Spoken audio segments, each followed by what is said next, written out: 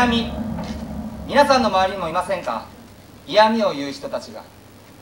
これからお見せするのは結婚生活半年を過ぎた私折紙山下正幸が実際に奥さんから言われた嫌味の数々です。どうぞご覧ください。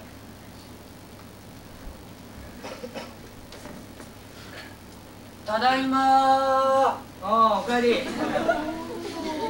あれ？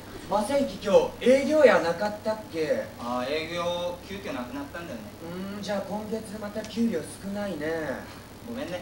あ大丈夫大丈夫。もともとの給料がバリ少ないけんさ全然気にしてないよ。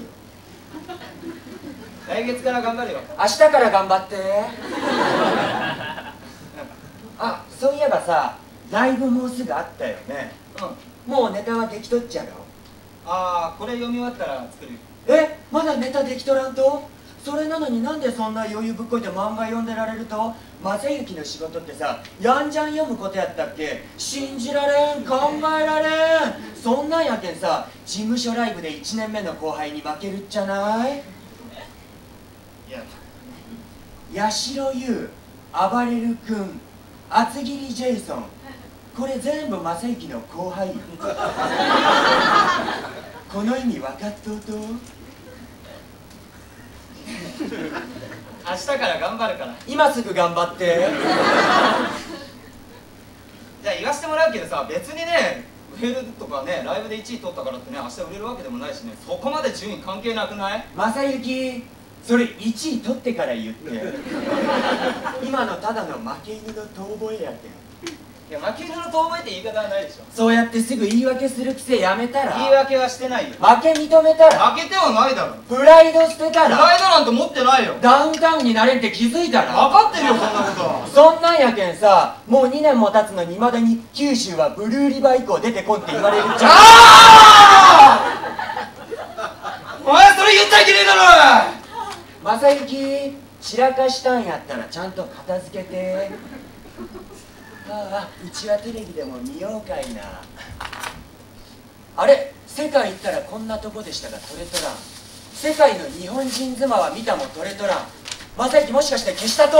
決してないよ容量オーバーだ。うちバリ楽しみにしとったのにもてか本当好きだねそういう旅番組みたいなやつ。うあれ言わんやったっけ？うち海外旅行バリ好きっちゃん海外旅行ね年に1回は行きよったっちゃん独身時代ね。でも正行絶対連れてってくれんやん。だけんねテレビの中でだけでも海外気分味わいたくてこれ見よったとこれ当てつけよ。手つけだってうん。だって正行がさ海外旅行連れて行ってくれるとか一生ないやん。夢のまた夢やない？そんなことないよ。えそうやろ？連れてってやるよ。連れてってくれると？えじゃあいつ連れてってくれると？